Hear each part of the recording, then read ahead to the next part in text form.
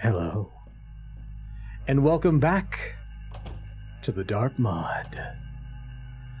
Reap as you sow. Yeah, right now there's too much light. I don't like it. It needs to be less light. What could that be? Nothing, don't worry about it. It's very tappy up here. I don't like it. See, that's the light on!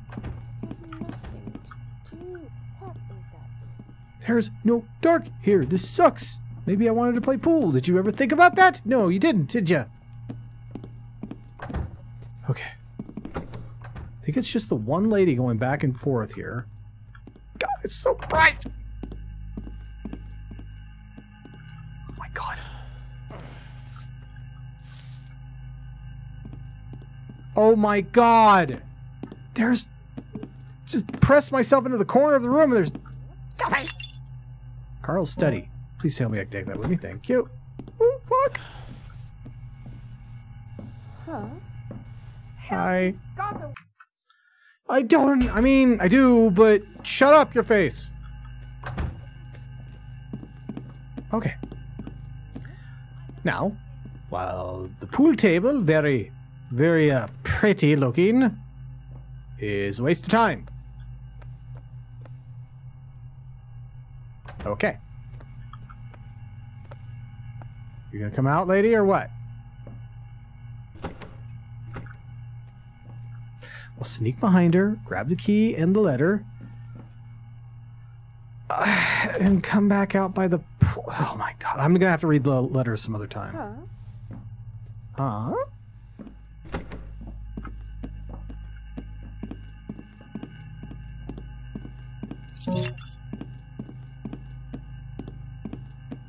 Hopefully there's dark in here. Dark in there. Oh my god! It's all shit.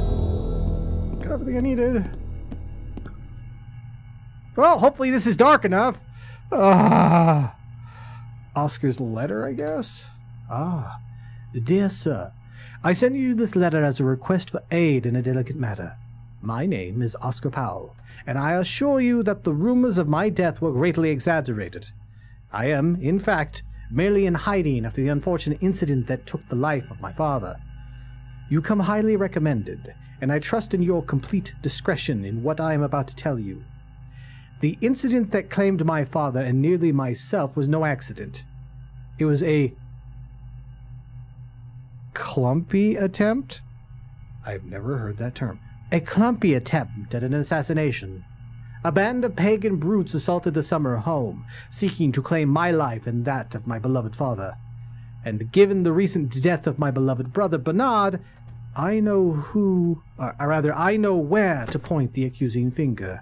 My sister, Alma, thrice cursed by her name, must have hired them to rid herself of us. I have no doubts to her ambition to claim the family holding. Don't come over here! Holdings, nor do I know her soul to. A I'm reading, go away. To contain any compassion, but the law is blind, they say, and I am but one man in hiding. But the proof, I could challenge her and bring her to justice, or but with proof. I'm sorry, I'm a little bit hu- uh, hurried right now which is where you come in. As I am told, you are without peer in bringing light to the ugliest of truths. So I ask of you to go to the Powell summer home, where my beloved father and brother met their end, and find out that uh, find out the truth. With this letter, you will find a ticket to the Powell Hedge Maze, which will give you an excellent chance to enter the estate. Use any means necessary, and leave no stone unturned in this, and you shall be richly rewarded when I am restored to my rightful place at the owner as the owner of the Powell Holdings. Yours humbly, Oscar Powell. Yours humbly, Oscar Powell. okay, time to reload. I'm glad she was stuck in here. She's stuck in here with me. All right, we need to grab that again because it has the ticket there anyway. I was assuming that the ticket already got to us, but somehow he was able to sneak in here, even though he's supposed to be dead, and drop that off. Okay. Sure. Why not? This lady's taking forever. There she is. Yoink! Alright, I do want to see what's out in the front yard, but I also don't want to get caught, so... Please tell me it's at least a little dark over here. There we go. Nailed it! this is more... Honestly, this is more like a puzzle game than a stealth game right now. Alright, now that she's gone around the corner. And again, I'm going to be quick saving the hell out of this just so I can get through it. She goes out front. Uh, Alright, I want to see what's out there. Ah, it's just me. Shut up. How you doing?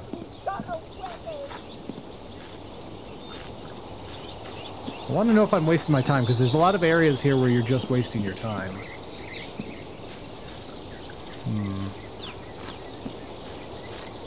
Can I climb up this drain pipe? No, I cannot. I've climbed up drain pipes in the past as a different character. What was help? All right, so I need to get that, and that's it. All right, fair enough. Uh, key to Carl's study. Where would Carl's study be?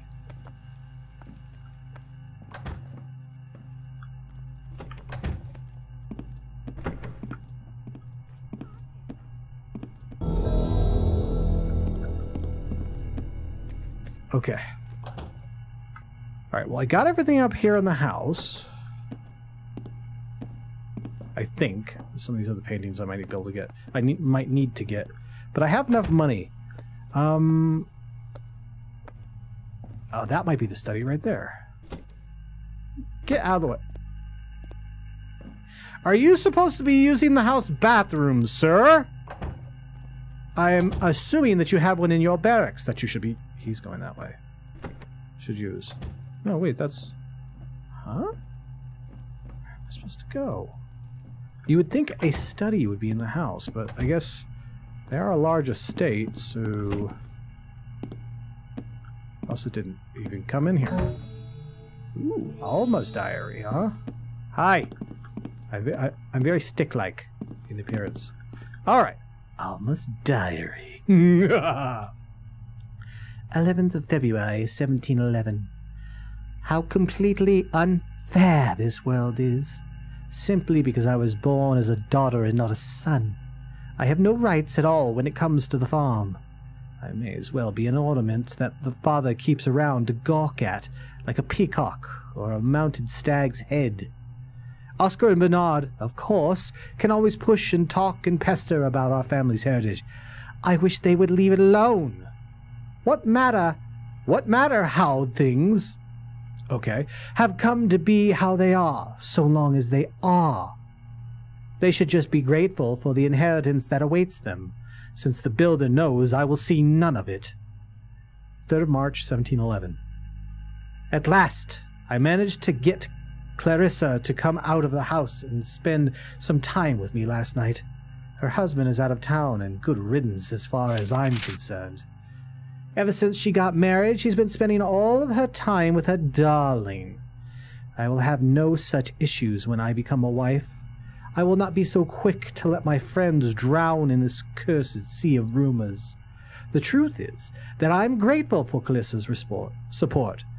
There are so many people saying things about the farm and my father and my family that sometimes I scarcely feel as if I can go if I can go daylight. I'm assuming she means go into daylight. Clarissa reprimanded me for my shame, saying that she is jealous of my family and how prosperous we have become through our hard work and perseverance. She told me to be proud of my father, no matter what other people say. It would be much easier to take her advice if the other woman didn't give us give me such scathing glares when I walk by. 5th of June, 1712. Father's birthday was awkward.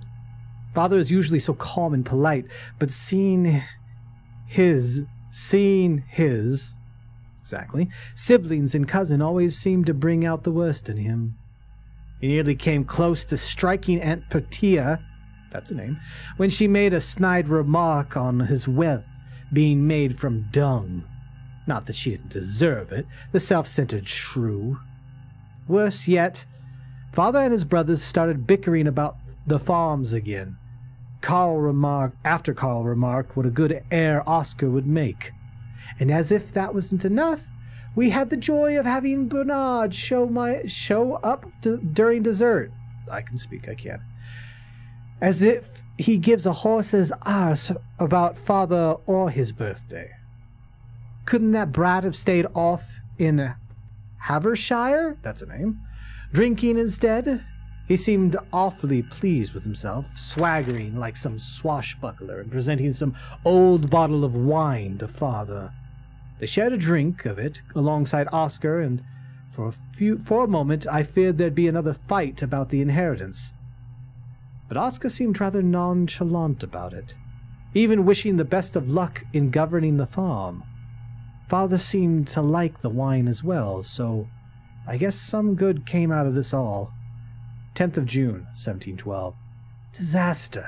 Complete and utter disaster. There's no better word for it, and not for lack of trying on my part. How else can I describe this? What word would better suit an attack? Nay, a raid on our family property. I had word of it just this morning. Two constables coming knocking to tell me the news. Father and Oscar had been out on the farm enjoying a, hunt- a hunting trip and overseeing the harvest. Apparently, some pagan tribe had gotten into their head to raid our lands and turn it into a bloody mess. The farm is intact, save for a few failed attempts at burning it, but Oscar is presumed dead, and father is in shambles over it all. I fear he might turn to drinking if I cannot console him. Damn my oh so helpful brother Bernard. How convenient that he's off in Havershire yet again. 12th of June, 1712. I was going to go out with Clarissa last night. But at the last moment, she sent me a message saying that she couldn't come to meet me. The message was so curt and hasty. On the whole, it was very rude. It, it seems that even she doesn't want to be around me and my family anymore. Be proud in spite of what people say. Indeed! How hypocritical. Since I was already ready to go out, I took a walk through the parks in Bridgeport as I used to do when I was a girl. They are just as lovely as ever, though their beauty was spoiled by some girls chattering about how our farm and our family is doomed. Then they looked straight at me and went stark white, dashing off as fast as their dresses allowed. How insolent! I thought the young ladies were supposed to respect their elders. Doomed. What a silly idea. 16th of June, 1712. Father, Father, what have you done? What have you done in your sorrow? Father, he.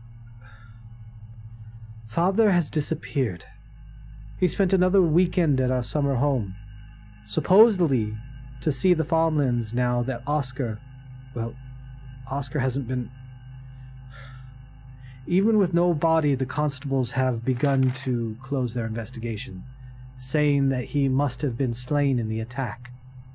Father won't hear anything of it, but I fear that Oscar truly did perish, and now Father may have done something inconceivably rash.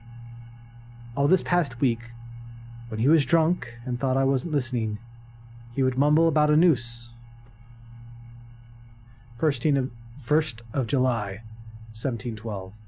Father, Father, I love you so much, so why can you not return to us? Please, I beg of you, do not go into the earth. Don't go. It trails off into illegible writing. 8th of August, 1712. They say he's dead, but I know that he isn't. He's just out there looking for Oscar, and he'll be back soon. I know it. I know it. And he'll be back soon. I know it. I know it. I know it. I know it. I know it. 20, 25th, 21st, sure, of September, 1712. I am myself again. I have had a time of mental softness, but the builder has seen me through it. Father and Oscar have died. Their souls have gone to the Golden City. I have accepted the fact and moved on. Yes, 11th of January, 1713. Bernard thinks he can have these farmlands. He thinks that he has a right to them. But I know that he does not. I know that father saw him as a disgrace, as a failure. I may not be father's son, but I will paint myself a savage and run in, run wild before I see that man drag the Powell name into the mud. Perhaps yourself or brother, for I for I aim to fight tooth and nail for the rights of this farm. A few pages pass containing nothing but simple progress reports on the legal battle for the Powell lands. Alma Powell seems to be slowly losing to her brother Bernard. 23rd of April, 1714. There are times when I sit and wonder, just wonder, what really happened that night when the pagans raided the farms.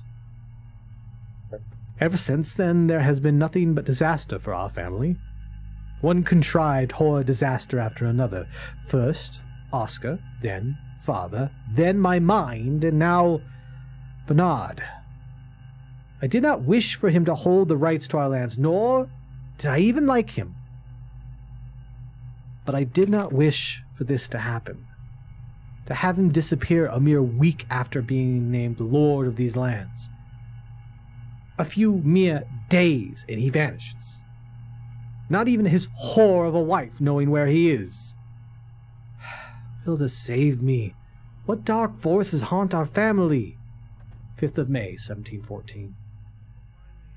Well, here I am, the sole survivor of the Powell family, and, at long last, I am the heir to the lands. Lady of the Powell estates, and alone. My siblings and my parents are all dead, leaving me with nothing but bickering aunts and greedy cousins.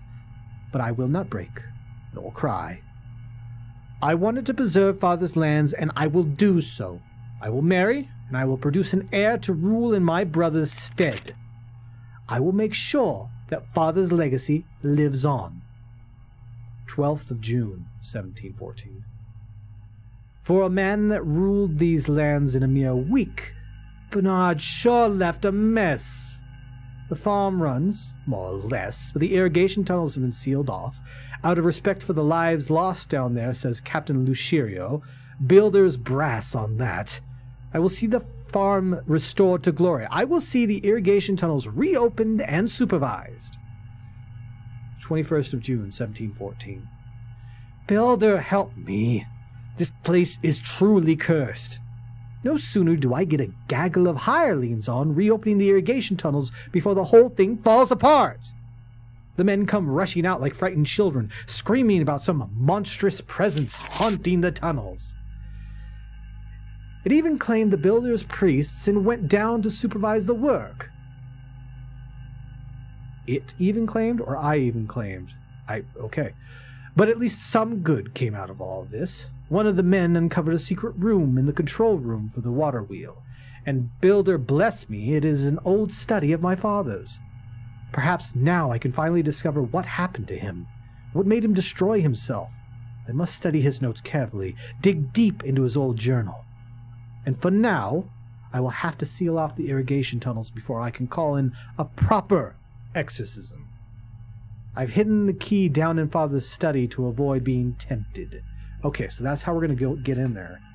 We know where Father's study is, and we know our way forward. The thing is, it doesn't seem like Alma killed her family at all. She's literally the last last person standing. And lost her I mean, she did lose her mind, but it was after her father and brother, quote unquote, were killed. Well, I guess quote unquote killed. Her other brother is still alive.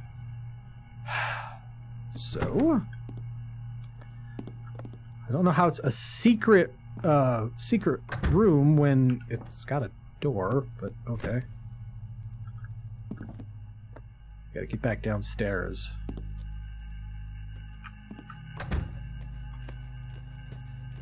Nice and peacefully. Let's close that in case people start asking questions. All the way down. Don't tap. Don't tap. Be a good little investigator. There's nothing here! Except for me waving my hands and saving as my hands came down. Seriously, dude. Carl's study. But yeah, it just seems like she had the same problems that most women had born back during this time. I guess this is the real world and not some um, thief fantasy world.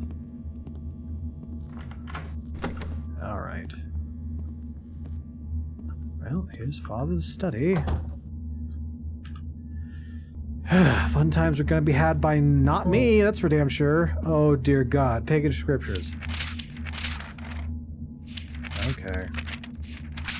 Song of the Sacrifices. Chill is the word of the night. That's not a pagan voice at all, whatever. Hell will never shine so bright. You know what? I don't see anything in here. Expert of the tales of the awakening. And thus Trudelia opened her eyes and saw the beauty of the land. She saw the new bronth of the sheep, and she saw the hissing of the snakes. Trudelia treasured the land.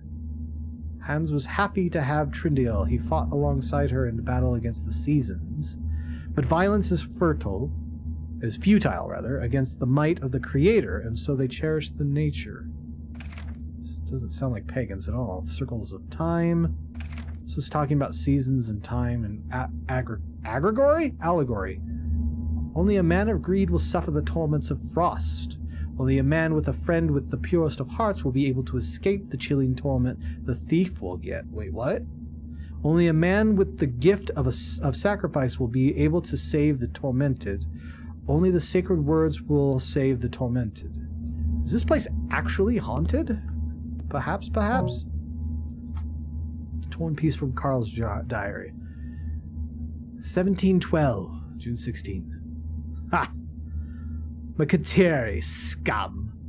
They may have come from my blood, but I still stand tall. They may have tried to burn my lands, but they still prosper. They may have come to reclaim their precious Lady Summer, but she is mine. Mine and no one else's. My children may be a useless gaggle and may last my last memento of my dear Hilda may be gone, but Lady Summer still smiles at me, even with those two icy blue eyes of hers. Were they always a part of the statue? So she, he has a statue who he thinks is the Lady of the Summer. Did he steal that from the uh, pagans? Or was her name? Just Precious Lady Summer. So I'm assuming that's the lady that's talked in talked about in the pagan scriptures that I just read. I mean, why else would he have them? Uh, and here's his diary. Minus the one that we just saw. Does this mean that he's not dead, by the way? 1694, August 21. Why are the dates different in this one? So this one is year, month, day, and hers was day, month, year. What? Cursed my rotten father and his rotten line. Oh, wait, no, this is one of the sons. My bad. Not only did he have to kick me out of the house for daring to suggest we sell the farmlands, now he had to go and die on me as well, leaving me the owner of his lands and, a bloody course, all his debts. My days as a guide and adventurer are over, finished. No more will I travel to distant cities or sail uncharted seas, all thanks to these rotten farmlands that I now have to tend to. At this rate, I'll have to take up guiding nobles through the lands just to pay off the creditors. Oh, Hilda, grant me the strength to see this through. Or is this their father? I'm I'm confused. Maybe his father died. That's what. That's yeah. That's got to be what it is. Because just look at the dates. 1700, March 16th. Home at last, but not a day too soon. The wild lands of Kimpur may hold treasury and wonders, but home has something beyond even that. A warm bed. Hilda. Oh, how I've longed for her warm embrace these past two months. But this voyage paid off quite well. Quite well indeed. And a good bit of coin. In guiding Lord Julian and his peacocks through Kemper. Enough to buy the farm another year to get back on its feet. But that's a small thing compared to what I found on my way home a marble statue of a maiden, her smile gentle, and the urn at her side filled with corn and fruit. Oh, true, true. Some pagan brutes were safeguarding it, using it as some sort of altar or whatnot. They called themselves the Makatari, or some such, and supposedly the statue was an avatar of their Lady Summer. Pagan nonsense. They refused to trade no matter what I offered, so I returned in the night and liberated it. Such a beautiful statue shouldn't be soiled by brutes after all. So he did steal from the pagans, and it's a season goddess, I'm guessing? Maybe a fertility goddess? 1701, June 1st. The money earned from the last expedition already gone. Creditors took almost all of it, demanding more than the usual fee. But I had to pay them, else they'd have taken my statue as payment. Hilla, you may call me a fool, but you'll be glad that we saved the statue. It's my golden goose, this Lady Summer. All these years, the farmlands have been have been dry and barren. I'm assuming that means dry and barren. Yet this year is different. Builder bless us.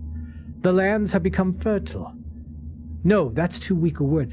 They're flourishing, all but shooting up carrots and potatoes. At last, I may be able to turn a profit out of this. And we saw the change in his logbook. 1705, October 5, 5th, rather. The farmlands continue to prosper, their harvests not only plentiful, but so lush in taste that they fetch their weight in gold. News of my goods are spreading and demand is beginning to grow beyond what I can supply. The creditors have all but been paid off, leaving me plenty of time for my Hilda. And all thanks to this statue of mine, my Lady Summer. She truly is my golden goose. I begun to dig up some books and scriptures on paganistic lore, hoping to find out just what significance this statue holds. It'll be nice to know the history of my little piece of art, after all. What was the name of the tribe that I liberated from? Mulki, Maki, Makatari, something. 1705, November 8th. My studies have yielded quite some results. From an old tomb on collected lore, I it seems that the Malakari, Malakatari rather, worshipped her as some sort of life-bringing deity, a bringer of harvests and good fortune, and a daughter of Mother Winter. Such irony that she now brings me luck and good fortune. 1705, November 14th. Ah, I knew it! Hilda called me a fool, but the ledgers prove me right. This beautiful statue of mine is no mere decoration. It truly is a, a magical artifact. According to the legends, the farmlands were dry and barren until the very year I brought it here. The very next year, Lady Summer made them fertile like never before. I shall have to erect something in her honor. A hedge maze, perhaps. Some pages have been torn out. We found what was torn out. And then I'm thinking this is his daughter. Father, father, father, look what a good daughter I have become. I have found you. You're in the Winterland, aren't you? I'll come find you. Come bring you home. So she's believing the tales. I don't know how literal the tales are, but we see the fruits, literal, of its labors. Seems like the statue is imbued with valuable gems. Steal them. I don't think so. This place is cursed. Get to know the whereabouts of Carl Powell find his ring as proof. What would that be in here or near the statue or in the hedge? Well, in the hedge maze near the statue. The maze is famous for its embellished statues. Oh yeah, I I got that one. Okay. Well, we oops, wrong button. We found evidence about what's going on. This is a key to the irrigation tunnels. How do I get to the irrigation tunnels? It's just the yeah, it was just the door right outside of here. Okay, sorry, I. It's it's it's been a while. It's it's been a it's been a while. Almost five minutes since I last played.